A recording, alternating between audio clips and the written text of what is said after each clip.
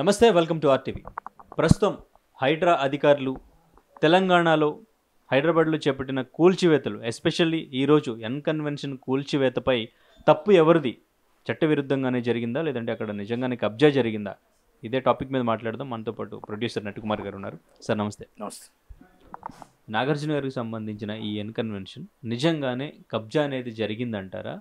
So కబ్జా జరగకుండానే కూల్చివేత జరిగిందంటారా? ఎందుకంటే నాగార్జున గారు రియాక్ట్ అయిన విధానం చూస్తే అది పక్కా పట్టా భూమి కోర్టులో ఉండగా ఎలా కూల్చివేస్తారు? చట్టవిరుద్ధంగా కూల్చివేశారు. మేబీ నాకు ఆపోజిట్గా వ్యతిరేకంగా తీర్పు వచ్చుంటే నేనే కూల్చేసేవాడిని బాధ్యత గల పౌరుడిగా అని చెప్పేసి ఆయన ట్వీట్ చేశారు. ఏమంటారు? ఆయన బాగానే మాట్లాడారు. చక్కగా బాగుంది. ఆయన చెప్పినవన్నీ బాగున్నాయి. ఆయన పట్టభూమి అవ్వచ్చు ఇవన్నీ అవ్వచ్చు. కానీ నేను ఒకటి అడుగుతున్నా నాగార్జున గారిని. లోకాయుక్త ఎందుకు మీకు వ్యతిరేకంగా నోటీస్ ఇచ్చింది? లోకాయుక్త మీకు ఎందుకు ఇది అక్రమము అని చెరువు తెమ్మడి చెరువు అని చెప్పేసి మీకు నోటీస్ ఇచ్చింది? అక్కడ ఉన్న ఉన్న స్థలాలన్నీ కూడా చెరువు భూములు అని చెప్పేసి ఇది నాట్ ఓన్లీ ఇది ఫస్ట్ టైం. ఇది ఆల్రెడీ పన్నెండు సంవత్సరాలు పదమూడు సంవత్సరాలు నడుస్తూ ఉంది. నడుస్తున్నప్పుడు అధికార బ మదంతో అధికార మదంతో ఉం,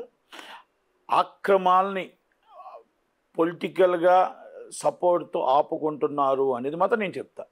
ఎందుకంటే ఇరవై తొమ్మిది ఎకరాలు ఇరవై తొమ్మిది ఎకరాల పైర్చెలకు చెరువు ఏమైంది? దొంగలు ఎత్తుకుపోయారా? రాత్రి రాత్రి ఎవరైనా సినిమాలో ఉంది. అది దృశ్య ఇది- ఏదో సినిమాలో ముందు చెరువు ఎత్తుకెళ్ళిపోయారని మన చెరువు దొంగ దొంగలు పడ్డారని చెప్పి పోలీసులు కంప్లైంట్ ఇచ్చారు కదా. అలాగే మరి ఎవరైనా ఏమైనా ఆ చెరువు ఏమైపోయింది? ఇరవై తొమ్మిది ఎకరాల చెరువు ఉండాలి కదా. మరి ఆ చెరువు పక్కనే మీద ఉంది ఎఫ్టీఆర్లో ఉందని అంటున్నారు. మీరేమంటారు? పక్క పట్టా భూమి అంటున్నారు. బాగుంది. ఈరోజు మీకు అన్ని వ్యతిరేకంగా వచ్చాయి లాస్ట్ టైము మా ఎన్ ఎన్ కన్వెన్షన్ మీద ఒక బుల్డోజర్ పెట్టారు.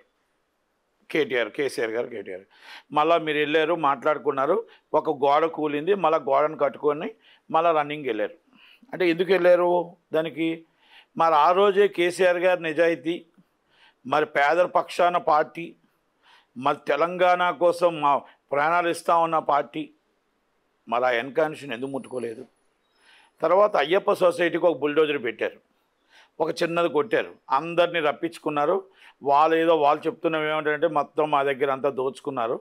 ఆమె ఆమెలు అన్నీ తీసుకొని కరెక్ట్ మమ్మల్ని వదిలేరు అన్నారు ఈ గవర్నమెంట్లు ఇలా చేసాయి కాబట్టే అక్రమంగా ఎక్కడా కూడా గవర్నమెంట్ స్థలం లేకుండా గవర్నమెంట్ స్థలాన్ని కబ్జా చేశారు అని మాత్రం నేను అంట.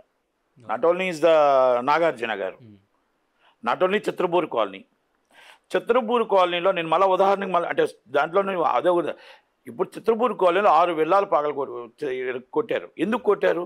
అంటే అసలు కట్టే పరిస్థితి ఎందుకు తీసుకొచ్చారు? అరవై ఆరు ఎకరాలు నైన్టీన్ ఎయిటీ త్రీలో ఇచ్చిన జీవో ప్రకారం నైన్టీన్ ఎయిటీ నైన్లో విజయభాస్కర్ రెడ్డి గారు ఇచ్చిన ప్రకారం అది ఓన్లీ సినీ కార్మికులకు మాత్రమే ఆ స్థలాన్ని అపార్ట్మెంట్ రూపంలో కట్టి ఇవ్వండి అని మాత్రం పేదల పక్షాన కార్మికుల పక్షాన కాంగ్రెస్ పార్టీ ఇచ్చింది. ఆ కాంగ్రెస్ పార్టీ ఇచ్చిన దాన్ని కొంతమంది ఒక సొసైటీ అని యాక్టింగ్ సొసైటీ పెట్టి దాంట్లో కొన్ని వందల కోట్లు దోచుకొని దాన్ని ఎంత కాస్ట్ కాస్ట్ ఎంత పడుతుందో అంతకి మనం కట్టివ్వాలి. అంతే కదా? దాన్ని ఏం చేశారు ఇప్పుడు? టూ త్రీ బెడ్రూమ్ వచ్చి కోటి యాభై. టూ బెడ్రూమ్ వచ్చి తొంభై కోటి. సింగిల్ బెడ్రూమ్ వచ్చి యాభై. రో హౌసెస్ వచ్చి రెండున్నర కోట్లు. మీకు రో హౌసెస్ ఎవరు ఇచ్చారు రైటు? ఏ జీవో ఇచ్చింది? మళ్ళీ పర్మిషన్లు ఇచ్చారు అంటున్నారు. పర్మిషన్ ఏ మినిస్టర్ ఇచ్చాడు? కేటీఆర్ గారు. కేసీఆర్ గారు. పర్మిషన్ రాలే. వాళ్ళదే. తెలవంటారంటే తెలంగాణ మాది. ఈ తెలంగాణ మాది మా కుటుంబానిది. మేము కష్టపడి తెలంగాణ తెచ్చాం. కనుక దోచుకునే దాచుకునే హక్కు అంతా మాకుంది. మా కుటుంబానికి మాత్రమే ఉంది. కలవగుంట్ల కుటుంబానికి మాత్రమే ఉంది. ఇంకొకరు దోచుకో ఇంకొకరు దోచుకోవడానికి లేదు. కనుక అందుకనే చిత్రపూర్ కాలనీ అయినా ఇంకో కాలనీ అయినా ఎన్ కన్వెన్షన్ అయినా ఇంకో స్థలమైనా ఇంకో స్థలమైనా మోయిన త్రిబుల్ వన్ జీవోలైనా ఏవైనా మేమే కబ్జాలు చేస్తాం. ఆ కబ్జాలు చేసి అది లక్షల కోట్లు డీడీ బాండ్ రూపంలో మేము డొనేషన్ రూపంలో గవర్నమెంట్ మా మా పార్టీకి డొనేషన్ రూపంలో ఇప్పిస్తాం. ఇది పది సంవత్సరాలు తెలంగాణ ఆకాంక్ష తెలంగాణ తెచ్చామని చెప్పిన కేసీఆర్ గారు ఆడిన నాటకాలు. దాంట్లో భాగమే ఎన్కన్వెన్షన్ నేను ఆయన కొన్నారా కొనలేదా అని నేను అన్న దాని దగ్గర వెళ్ళట్లేదు. ఎందుకంటే ఈజ్ ఒక కో ఆర్టిస్ట్గా మా సినిమా ఇండస్ట్రీ వ్యక్తిగా నేను ఆ విధంగా వెళ్ళాలంటే మా సినిమాలు అందరికీ అన్యాయం జరుగుతుందని చెప్పొచ్చు. సినిమాలకు అన్యాయం జరుగుతుంది అంటే చిత్రపూర్ కాలనీ నాశనం అయిపోయింది. సినీ కార్మికులకు ఈరోజు ఒక స్థలం లేకుండా సెంటు భూమి లేకుండా కృష్ణానగర్లో అయ్యో అయ్యో అంటూ అద్దెలు కట్టలేని పరిస్థితుల్లో ఉన్నారు ఈరోజు. వాళ్ళకి కార్మికులకు స్థలం ఏదండి? ఆ రో హౌసెస్లో ఎమ్మెల్యేలదే మినిస్టర్లదే ఎంపీలదే. ఆ రోజెస్లో పోలీసులదే. మరి ఇక్కడ ఎన్కన్వెన్షన్ అవ్వచ్చు ఇంకోటి అవ్వచ్చు. దానికి అండగా కేటీఆర్ గారు. డ్రగ్స్కి కేటీఆర్ గారు అండా డ్రగ్స్లో పెట్టారు. మళ్ళీ అంటే ఇవన్నీ నేను ఎందుకు తీసుకొస్తానంటే ఇక్కడ దీంట్లో లింకప్స్ ఉన్నాయి. మళ్ళీ డ్రగ్స్ విషయంలోకి వస్తే లైన్ కట్టించారు. అందరితో ఫోటోలు తీశారు. ఏదో దొంగలకు ఫోటోలు తీసినట్టు మొత్తం టోటల్ రెడీ రెండు రెండు ఫోటోలు తీసి ఎంటికలు కటింగ్ అన్నారు అది అన్నారు ఈ కటింగ్ అన్నారు గోర్లు కటింగ్ అన్నారు. మొత్తం తీసుకెళ్ళి అందరినీ మొత్తం సోషల్ మీడియాలో పెట్టారు. పెట్టిన తర్వాత మళ్ళీ ఏం జరిగిందో తెలియదు ఏమైందో తెలియదు మళ్ళీ కేటీఆర్ బ్రో వచ్చాడు. కేటీఆర్ బ్రో వచ్చిన తర్వాత క్లీన్ చీట్ వచ్చింది. మాది క్లీన్ చీట్ తీసుకుని ఈ పెద్ద మనుషులు అయ్యో మా పరువులు పోయాయి మా పిల్లల పరువులు తీశారు మమ్మల్ని మొత్తం టోటల్గా రోడ్డు మీదకి లాగారని చెప్పి పా మరి ఏమైనా పరువునాశం డాబా కానీ డిఫర్మేషన్ కానీ ఏమైనా సూట్ ఫైల్ చేశారా? చేయలేదు. ఎందుకంటే ఇది తప్పుడు క్లీన్ చీట్. దాంట్లో అందరూ చేసి ఉండరు. చేసి ఉండకపోవచ్చు కొంతమంది చేసి ఉండొచ్చు. అంటే కేసీఆర్ గారు వాళ్ళని లొంగ తీసుకోవటానికి ఆడిన డ్రామాలు. నేను అనుకున్నాను ఇది కే రావంత్ రెడ్డి గారు ఏముందిలే? రావంత్ రెడ్డి గారు మళ్ళీ same drama playing is a government. A same ఏ గవర్నమెంట్ వచ్చినా ఇంతే. పేదలు పేద గౌర పేదల పాలట పేదలు పేదలాగా ఉంటాడు గొప్పవాడు గొప్పవాడులాగా ఉంటాడు. గొప్పవాడు ఎప్పుడు లోన్ గేటు అవతల గేటు లోన్ ఉంటాడు. పేదవాడు ఎప్పుడు గేటు బయట ఉంటాడు. ఇదో సామెత ఉంది.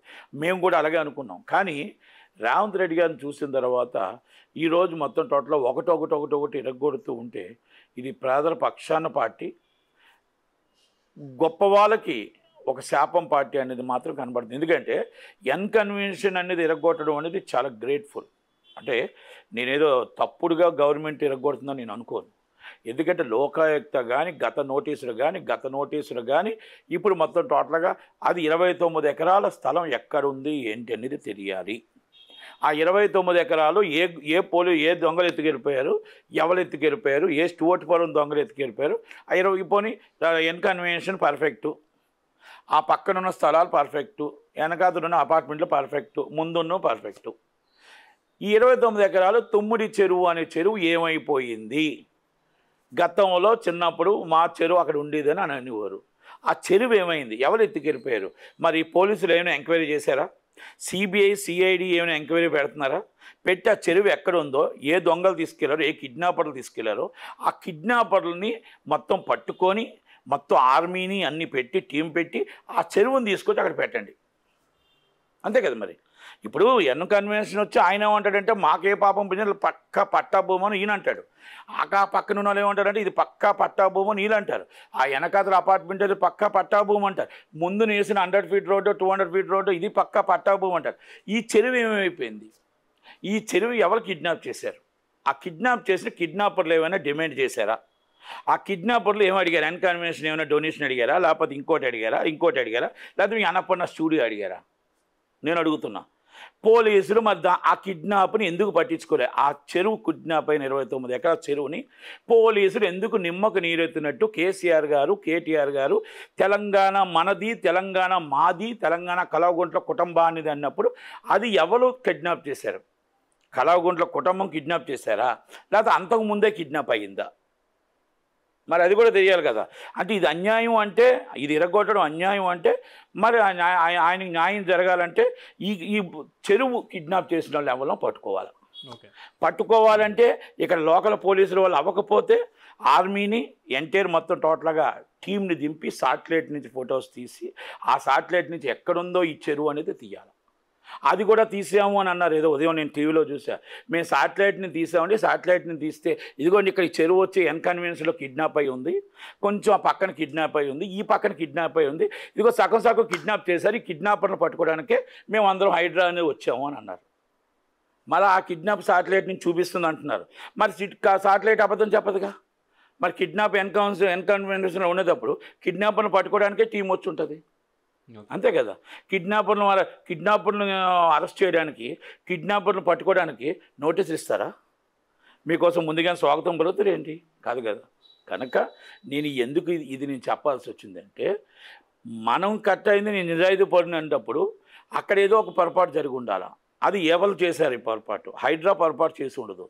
ఎందుకంటే హైడ్రా ఈజ్ అ సీఎం దాంట్లో ఉంది కాబట్టి హైడ్రా అనేది మొత్తం అన్ని టీంలు కలిపి చేస్తుంది కాబట్టి ఒకటి రెండు సార్లు చెకింగ్ చేసి కోమటిరెడ్డి వెంకటరెడ్డి గారు ఇరవై ఒకటి నాడు కంప్లైంట్ ఇచ్చిన తర్వాతనే దాని మీద యాక్షన్ తీసుకున్నారు. ఓకే కోర్టు ఏదైనా ఇవ్వచ్చు కోర్టు కోర్టుగా అందరూ కూడా న్యాయబద్ధులే. కోర్టు ఏమి ఇచ్చినా నిర్ణయం కట్టుబడి ఉంటారు. అంటే కోర్టులో కేసు ఉండగా ఇప్పుడు చట్టవిరుద్ధంగానే వారు కూల్ చేశారు. మేబీ నాకు వ్యతిరేకంగా వ్యతిరేకంగా కానీ తీర్పు వచ్చి ఉంటే నేనే కూల్ చేసేవాడిని అని ఆయన అంటున్నారు కదా. ప్లస్ ఇంకా ఆయన హైకోర్టుకు వెళ్తారు నాకు న్యాయం జరగడానికి అని చెప్పేసి. ఇప్పుడు ఆయనకి ఆయన తప్పలేదు. న్యాయం ఉంటే ఆయన హండ్రెడ్ పర్సెంట్ స్టే ఉంటే కంటెంప్ట్ వేస్తారు. ఇస్ ద కంటెంప్ట్ పిటిషన్ వేస్తారు. కంటెంప్ట్ పిటిషన్ వేసిన తర్వాత ఇంకా సుప్రీంకోర్టు ఉంది హైకోర్టు ఉంది. ఇవన్నీ ఉన్నాయి. ఇవన్నీ వచ్చేటప్పటికి ఆ ఉన్న చెరువు ఇరవై తొమ్మిది ఎకరాలు ఇంకా ఉన్న చెరువు కూడా ఐదు ఎకరాలు మూడు ఎకరాలు ఉంది. అది కూడా అన్యాక్రాంతం అయిపోద్ది. గవర్నమెంట్లో మారిపోతూ ఉంటాయి. అంటే నేనేమంటున్నానంటే కోర్టు కేసులు సుప్రీంకోర్టు అంటే నేనేమంటున్నానంటే కోర్టు కేసులు మూడు నెలల్లో ఎనీ ఆర్డర్ పాస్డ్ అని చెప్పి ఏదైనా ఇవ్వాలి ఇవ్వగలిగితే అప్పుడు ఈ అన్యాయక్రాంతం కాకుండా ఉంటాయేమో. మరి కోర్టు లిమిట్ అంటే ఇప్పుడు ఒక స్టే తీసుకొస్తున్నారు. అక్కడ ఆటోమేటిక్గా stay continue is there continue. High court high court తర్వాత సుప్రీంకోర్టు సుప్రీంకోర్టు అయితే మనం పిల్లలు ఆల్రెడీ నేను ఒక చిన్నప్పుడు చూశాను ఆ చెరువు అక్కడ. నా చిన్నప్పుడు చూశాను. ఇప్పుడు చూస్తే మొత్తం అన్నీ వచ్చేస్తున్నాయి. అలాగా డిఫరెంట్ ఇప్పుడు నేను ఇక్కడ ఏడు ఎకరాల దగ్గర చూశాను. నా చిన్నప్పుడు చూశాను రోడ్డు నుంచి ఆ కొండ నుంచి పైకి వెళ్తూ వచ్చేవాళ్ళు పైకి దిగుతూ వచ్చేవాళ్ళు నా చిన్నప్పుడు. ఇప్పుడు చూస్తే మొత్తం టోటల్ రోడ్లు వేసేసి బ్రహ్మాండంగా వేసేసి ఉన్నాయి. వాల్యూలు పెరిగిపోయినాయి. అంటే మనమేమంటున్నాం అంటే కోర్టులు కూడా స్టే వచ్చింది. అది ఇమ్మీడియట్లీ ఆ స్టేని కానీ ఇంప్రూవ్ అది గవర్నమెంట్ కూడా యాక్టివ్ తీసుకోవాలి.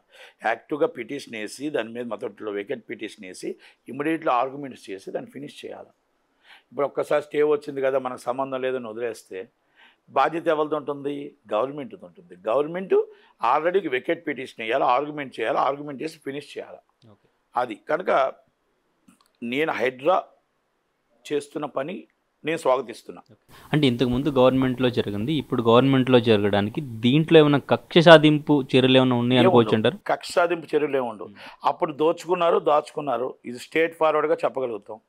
ఆ రోజు ఎన్కన్వెన్షన్ గోడ ఎరగొట్టి తగ్గమది ఎందుకు ఇరగొట్టలేదు అంటే అయ్యప్ప సొసైటీ ఒక ఫ్లోర్ ఇరగొట్టి ఎందుకు ఇరగొట్టలేదు అంటే డ్రగ్స్ మీద అందరినీ లైన్ కట్టించి డ్రగ్స్లో అంత క్లీన్ చిట్ ఉంటుండగా ఒక్క ఒక కేసు కూడా డ్రగ్స్ మీద పెట్టకుండా డ్రగ్స్ ఇష్టం వచ్చినట్టు పెరిగి పబ్బులు పెరిగిపోయి పబ్బుల్లో ఇష్టం వచ్చినట్టు ఆడ చిన్నపిల్లలు మైనర్ పిల్లలు ఈరోజు మొత్తం ఇష్టాసరంగా డ్రగ్స్ అంటే హైదరాబాద్ బ్రాండ్ అన్నట్టు పరిస్థితి తీసుకొచ్చారంటే అది ఎవరు? టీఆర్ఎస్ పార్టీ కాదా? అది కాదా అని అడుగుతున్నా. సినీ ఇండస్ట్రీని సర్వనాశనం చేసిన సినీ టీఆర్ఎస్ పార్టీ కాదా? ఈ కేటీఆర్ గారు కాదా? మీరు నా చెప్పండి. ఒకవేళ ఎవరైనా సరే కాదు మేము చాలా మంచి వాళ్ళు మేము చాలా చక్కగా ఉన్నాం మేము చక్కగా గవర్నమెంట్ పాలించాం సినిమా ఇండస్ట్రీని అబ్బుగా తీసుకొచ్చాం అని చెప్పమనండి ఒక్కసారి. పేదవాడు జీవితంలో శాపంగా తయారైంది టీఆర్ఎస్ పార్టీ. కార్మికుడు శాపంగా తయారైంది. డబ్బున్నవాడిది రాజ్యం అయింది. డబ్బున్నవాడిది ఆంధ్ర వాడైనా తెలంగాణ వాడైనా బీహార్ వాడైనా ఎవరైనా అనవసరం మీకు డబ్బు ఉందా డబ్బు లేదా? రెండే మాత్రం వెతుక్కున్నారు. డబ్బు లేనివాడు గేటు బయట డబ్బు ఉన్నవాడు లోన. బ్రో రమ్మని చెప్పి కూర్చోబెట్టారు. వాళ్ళు ఒకటే చెప్పారు సినిమా ఇండస్ట్రీ అంటే మాకు ఐదుగురే. ఒకటి నాగార్జున గారు ఒకటి రామానాయుడు గారు అదే సురేష్ బాబు గారు ఒకటి చిరంజీవి గారు ఒకటి మాకు బాలీబాబు. Babu is of only five members and cinema industry not only is a కార్మికులు కార్మికులు ఉంటారేంటో మాకేం తెలుసు?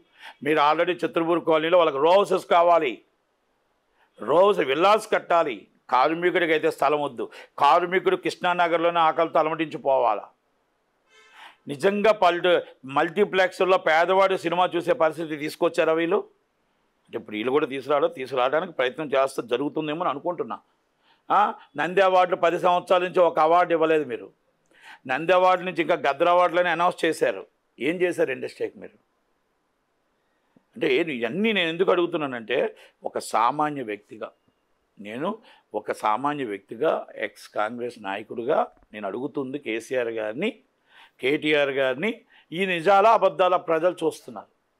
నేను దాంట్లో నేనేమన్నా హైడ్రా అనేది ఈజ్ అ గ్రేట్ఫుల్ హైడ్రా అనేది మొత్తం టోటల్గా రేపు రాబోయే త్రిబుల్ వన్ జీవో రాబోయే మొత్తం బప్పర్ జోను రాబోయే ఎఫ్టీఎల్ ఏ ఒక్కటి కూడా ఇరగ్గొట్టి ప్రజలకి మనకి ఈరోజు వన్ అవర్కి వర్షం పడితే మొత్తం డ్రైనేజ్ మునిగిపోతుందంటే కారణం అది కేసీఆర్ గారు కాదా? కేటీఆర్ గారు కాదా? బ్రాండ్ అన్నారు. ఏం బ్రాండ్? అమెరికాకి బ్రాండా? వన్ అవర్లో మునిగిపోతున్న బ్రాండా? అమెరికాలో హైదరాబాద్ బ్రాండే. వన్ అవర్ వర్షం పడితే మొత్తం జనాలు కొట్టుకుపోతున్నారు నాళ్ళల్లో. మరి ఆ పరిస్థితిని ఇప్పుడు తీసుకురావడానికి మనం ఆ గవర్నమెంట్ ఈ గవర్నమెంట్ అంటున్నాం. ఈ గవర్నమెంట్ ప్రయత్నం చేస్తుంది. చేయనీయండి. దాన్ని స్వాగతిద్దాం. డ్రైనేజ్ మీద ఉన్న టోటల్గా డ్రైనేజ్ మీద ఉన్న బఫర్ జోన్ ఎవరైతే బిల్డింగ్స్ ఉన్నాయో వాళ్ళని ఇరగొట్టి ఆ డ్రైనేజ్ మొత్తం టోటల్గా పూ- పూర్తి చేస్తాం అంటున్నారు తప్పే ఉంది దాంట్లో. అప్పుడు చేయకపోతే మనం అడగవచ్చు తొమ్మిది నెలలు అయింది గవర్నమెంట్ వచ్చి ఇంకా నాలుగు సంవత్సరాలు మూడు నెలలు ఉంది. చేద్దాం. వాళ్ళు ప్రయత్నం చేస్తున్నారు. Is the very sincere officer and honest officer is Ranganath గారు. ఆయన ఆయన డ్యూటీ ఆయన చేస్తున్నాడు. అలాగే చాలామంది సిన్సియర్ ఆఫీసర్ డ్యూటీ అందుకే అంటారు. ఐఏఎస్కి ఐపీఎస్కి స్వేచ్ఛ ఇస్తే బ్రహ్మాండమైన రాష్ట్రం ఉంటుంది. ఐఆర్ఎస్ ఐపీఎస్ ఐఏఎస్ వీళ్ళ ముగ్గురికి స్వేచ్ఛ. మనం వాళ్ళకి స్వేచ్ఛ ఇవ్వగలిగితే మనం బ్రహ్మాండమైన రాష్ట్రాలను చూడొచ్చు. వాళ్ళకు ఒక ఒక ఫోన్ పెట్టి ఒక చిన్నది ఇది పెడితే వెంటనే ఒక ఫోన్ వస్తుంది. అది మన సొంత మా మా అన్నయ్యది మా తోడల్లుడిది మా సడ్డకుడిది మా బామ్మర్ది అది నాదే. నేను కేటీఆర్ గారు చాలా చక్కగా చెప్పాడు. నేను తప్పు చేశానని చెప్పట్లేదు. అది నా నా ఫ్రెండ్ది. అది ఏ జోన్లో ఉందో నాకు తెలియదు కానీ ముందు ఇరగొ నాది ఇరగొట్టే ముందు అక్కడ పొంగులేరు సుధాకర్ రెడ్డి గారిది గుత్త అందరిది ఇరగొట్టాను అంటున్నాడు. ఫస్ట్ మీరు నిజంగా రాజకీయ నాయకుడు అయితే పది సంవత్సరాలు తెలంగాణ మనది తెలంగాణ మేము తెలంగాణ బిడ్డల కోసం తెచ్చుకున్నాము అని మనం మీకు ఉంటే చిత్తశుద్ధి ఉంటే ఫస్ట్ మీరు దాంట్లో డిస్మాంటిల్ చేసేసి చెయ్యి అని నేను కూర్చోబెట్టాలి. చెయ్యండి నేను డిస్మెంటల్ నేనే చేసేస్తానని చెప్పాలా? కానీ అది చెప్పలే. ఆయన అది కనుక ఒక ఎదుటివాడు వాళ్ళు తప్పు చేశారు నేను ఎందుకు చేయకూడదు అంటే మీరు ఏమంటున్నారు? మీరు ఓన్ చేసుకుంటున్నారు తెలంగాణ నాది. తెలంగాణ నాట్ ఓన్లీ మనది కాదు తెలంగాణ నాది. మా నాన్నగారు ఉద్యమంతో తెలంగాణ తెచ్చారు. మా చావు నోట్లో నోరు పెట్టి మా తెలంగాణ తెచ్చారు. ఆ తెలంగాణ కింద మీరు అందరూ కూడా మా కింద ఉండవలసిందే ఇంకో గవర్నమెంట్ రాకూడదు ఇంకొకరు ఉండకూడదు అని మీరు ఏదైతే చెప్తున్నారో మరి మీరే తెలంగాణలో మీ ఇష్టం వచ్చినట్టు ఇల్లులు కట్టొచ్చా? మీ ఇష్టం వచ్చినట్టు బఫర్ జోన్లో కట్టొచ్చా? మీ ఇష్టం వచ్చినట్టు ఎఫ్టీఎల్లో కట్టొచ్చా? మీ ఇష్టం వచ్చినట్టు డ్రైనేట్లు మొయ్యొచ్చా? మీ ఇష్టం వచ్చినట్టు మొత్తం డ్రగ్స్ మాఫియాని తీసుకొచ్చి హైదరాబాద్లో కూర్చోబెట్టి అడ్డాగా మార్చొచ్చా? ఇవన్నీ నేను కేటీఆర్ గారికి సూటుగా ప్రశ్నిస్తున్నా. సూటుగా ప్రశ్నిస్తున్నా. కేసీఆర్ గారి కోసం తెలుసు. కేసీఆర్ గారి కోసం మాకు రవాణా శాఖ మంత్రి నుంచి ఎమ్మెల్యే నుంచి మాకు తెలుసు. ఆయన ఇలాగే నిజంగా స్వార్థానికి ఆలోచించి ఉండుంటే ఇంతటి వాడు కా అయ్యేవాడు కాదు. ఆయనకు స్వార్థం తెలియదు ఆయనకు స్వార్థం తెలియదు కనుక మేమేమంటున్నాం? ఆ స్వార్థం నేర్పించింది మీరు. ఆ స్వార్థం నేర్పించింది ఇప్పుడు త్రిహార్ జైల్లో ఉన్న మీ చెల్లు గారు. ఆ స్వార్థం నేర్పించింది మీ రాజకీయ నాయకులు. కేసీఆర్ గారు కాదు అని చెప్తా. ఎందుకంటే మాకు ఆయనతో అనుబంధం ఎక్కువ ఉంది. టీడీపీలో ఆయన రవాణా శాఖ మంత్రి ఉన్నప్పటి నుంచి మాకు ముందు నుంచి తెలుసు కాబట్టి. ఆయన కోసం తెలుసు కాబట్టి. అలా నిజంగా అప్పుడే ఆలోచించుంటే ఈరోజు ఎంతటో ఎప్పుడో వేల కోట్లకు ఆస్తి అయిపోయి లక్షల కోట్లకు ఆస్తిపరుడు అయిపోయాడు. ఇవన్నీ మీరు పిల్లలు వచ్చిన తర్వాత మీ ఆలోచనలు అనుకూలంగా అమెరికా సిస్టాన్ని తీసుకొచ్చి ఎక్కడ పెట్టి ఆస్తులు పెరగాలి ఇవన్నీ పెరగాలని ఒక ఆలోచనతో మీరు ప్రజల్ని భయభ్రాంతులను చేసి ప్రజల్ని ముంచి కార్పొరేట్ కంపెనీలు పెంచి మీరు మొత్తం టోటల్గా ఈ ఒక గ్రూప్ తయారు చేసి ఇలాగ ఎన్కన్వెన్షన్ లాంటివి అవ్వచ్చు ఇంకోటి అవ్వచ్చు లేకపోతే జొన్నాడ ఫామ్ హౌస్లు అవ్వచ్చు ఇంకోటి అవ్వచ్చు ఇంకోటి అవ్వచ్చు. మేబీ ఇది మొత్తం టోటల్గా టీఆర్ఎస్ పాపమే అని నేను చెప్పగలుగుతాను ఈ పది సంవత్సరాలు ఇది టీఆర్ఎస్ పాపమే. ఇది డ్రగ్స్ ఇక్కడ హబ్బుగా తయారైన టీఆర్ఎస్ పాపమే. ఈరోజు బఫర్ జోన్లో ఉన్న ఎఫ్టీఎల్లో ఉన్న టీఆర్ఎస్ పాపమే. కాల డ్రైనేజీలు మూసేసిన టీఆర్ఎస్ పాపమే. టీఆర్ఎస్లో కేటీఆర్ గారు పాపమే. ఇది వాస్తవం. దానికి కరెక్ట్గా మొగుడు దొరికాడు ఆయనే రేవంత్ రెడ్డి. ఆ రేవంత్ రెడ్డి అన్న ఆయన ఖర్చు పొట్టిగా ఉంటాడు తక్కువగా ఉంటాడు. అసలు పట్టించుకోవాల్సిన అవసరం లేదు. అసలు ఈ మూడు నెలల్లోనే మా ఆలే పడగొట్టేస్తారు అని మొత్తం కాంగ్రెస్ వాళ్ళతోనే గొడవలు పెట్టి ఎలాగైనా లేపేద్దామని చూసిన పరిస్థితుల్లో ఆయన్ని అధిష్టానం నమ్మడం. ప్రజలు నమ్మడం పెరగడం మళ్ళీ ఎంపీ సీట్లు ఇవ్వడం మీకు డిపాజిట్లు గల్లం తవ్వడం మీ మొత్తం టోటల్గా మీద అక్రమ భజ్జన అక్రమ ఆస్తులు కొల్లగొట్టడానికి రెడీ అవ్వడం ఇవన్నీ కూడా జరిగాయి కాబట్టి హైడ్రా అనేది మంచి కార్యక్రమం. ప్రజల కోసం డ్రైనేజీల కోసం మన ఎఫ్టీఆర్లో మన ఏదైతే చెరువులు ఉన్నాయో మనం గతంలో చెరువులతో మీరే అడిగారు ఏదో మన గుబ్బమ్మలు మనం గుబ్బమ్మలు పెట్టడానికి కానీ ఇంకోటి కానీ మనం ఏది చేసుకోవడానికి కూడా చెరువులు కనబడట్లేదు. చెరువులు చూపిస్తారు. ఇప్పుడు చేయండి మీరు కార్యక్రమాలు. ఎందుకంటే మనకు అక్టోబర్లో వస్తున్నాయి. కార్యక్రమాలు మీరు చెరువుల్లో చేయండి. ఇవన్నీ మొత్తం చెరువులు కనబడుతున్నాయి. ఇప్పుడు చెరువులు కనిపిస్తాయి. ఇరవై తొమ్మిది ఎకరాలు ఎక్కడ కిడ్నాప్ అయిందో చూపిస్తారు. చూపించారు సాటిలైట్లో. కనుక నేను అదే చెప్తా.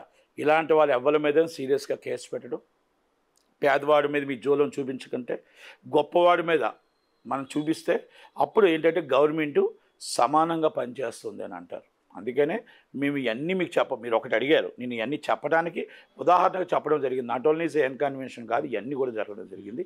కనుక హైడ్రా ఇస్ సీరియస్గా తీసుకోవాలా? రేవంత్ రెడ్డి గారు వెనక అడుగేయకూడదు ఏమైనా మొత్తం టోటల్గా కోర్టులు ఆర్డర్లు ఇచ్చాను కోర్టుని ఇమీడియట్లీ వికెట్ పిటిషన్ వేయాలా? వికెట్ పిటిషన్ వేసి day day by day day by day argument చేయాలా? కౌంటర్లు వేయాలా? మీకు ఉన్న మొత్తం టోటల్గా వేసి స్కేల్ ఏమైనా వికెట్ చేయించి I'm ready to uh occupied any occupied ఎవరిదైనా సరే చిన్నవాళ్ళు అవ్వచ్చు పెద్దవాళ్ళు అవ్వచ్చు మొత్తం టోటల్గా డ్రైనేజీలు మొత్తం టోటల్గా చెరువులు మొత్తం సూపర్గా హైదరాబాద్ బ్రాండ్ అని చూపించాలి అనేది మాత్రం నా మనవి. వన్ అవర్ వర్షం పడితే మునిగిపోయే హైదరాబాద్ కాదు ఇది. మీరు మొత్తం టోటల్గా ఫార్టీ ఎయిట్ అవర్స్ వర్షం పడినా కూడా ఎక్కడ నీటి రోడ్డు మీద కనబడదు అన్న రేంజ్కి మనం తీసుకురావాల్సిన పరిస్థితి. అది రేవంత్ రెడ్డి గారి గవర్నమెంట్ మీద ఉందనేది మాత్రం HYDRAA is a very honest officers. వాళ్ళ మీద మనం ఏలైతే చూపించాల్సిన అవసరం కూడా లేదు. Very good job. Thank you very much. అయితే అంటే ఎన్ కన్వెన్షన్ విషయంలో మాత్రం నాగార్జున గారు ఒక్క అంగుళం కూడా కబ్జా జరగలేదు. ఇది తప్పుడు సమాచారాన్ని ప్రజల్లోకి తీసుకెళ్తున్నారు అని చెప్పేసి ఆయన మెన్షన్ చేయడం జరిగింది. అంటే అక్కడ నిజంగానే కబ్జా జరిగింది అని అని అంటారు మీరు? ఇరవై తొమ్మిది ఎకరాలు ఏమైంది? అయితే చెరువు ఉండకపోవచ్చు. చెరువు ఉండకపోవచ్చు. చెరువుని ఆ చెరువు లేకుండా వాళ్ళంతా నిజాయితీగా ఉండొచ్చు. దాన్నైనా డిసైడ్ చేసేయండి చేయండి. మీకు ఒక్కటి కూడా ఒక అన్యక్రాంతం కానప్పుడు లోకయుక్త మిమ్మల్ని ఎందుకు కూలగొట్టుకొని నోటీస్ ఇచ్చింది? అంతకుముందు మరి ఎన్ కన్వెన్షన్ మీద ఎందుకు గోడ పెట్టి బుల్డోజర్ ఎరగొట్టారు? మరి ఇవన్నీ ఉన్నాయి కదా. కబ్జా జరిగిందంట. హండ్రెడ్ పర్సెంట్ జరిగింది. జరగలేదని అంటానికి లేదు. అందుకని జరిగిన దాంట్లో ఇరవై తొమ్మిది ఎకరాల్లో కిడ్నాప్ అయ్యింది. నాట్ ఓన్లీ అన్యాక్రాంతం జరిగిందని నేను చెప్పట్లే. అది అన్కన్వీన్స్లో కిడ్నాప్ అయ్యింది. ల్యాండ్ ఏదైతే చెరువు కిడ్నాప్ అయింది. ఆ చెరువు దాంట్లో కనబడుతుంది సాటిలైట్ నుంచి. ఆ చెరువుని ఎలా తీసుకురావాలి అనేది మొత్తం టోటల్గా దానికి ఒక టీం వేసి ఆ టీం నుంచి చెరువు బయటకు తీసుకురావడానికి ప్రయత్నం చేస్తున్నారు. అది తప్పలేదు దాంట్లోని. వాళ్ళ దాంట్లో కిడ్నాప్ అయింది అంతే. మీరు అన్యాక్రాంతం అని అంటాను అనకూడదు. కిడ్నాప్ అయింది. మరిన్ని వీడియోస్ కోసం ఛానల్ సబ్స్క్రైబ్ చేయండి. లేటెస్ట్ అప్డేట్స్ కోసం వాట్సాప్ ఛానల్ ఫాలో చేయండి. అండ్ లింక్ డిస్క్రిప్షన్లో ఉంది.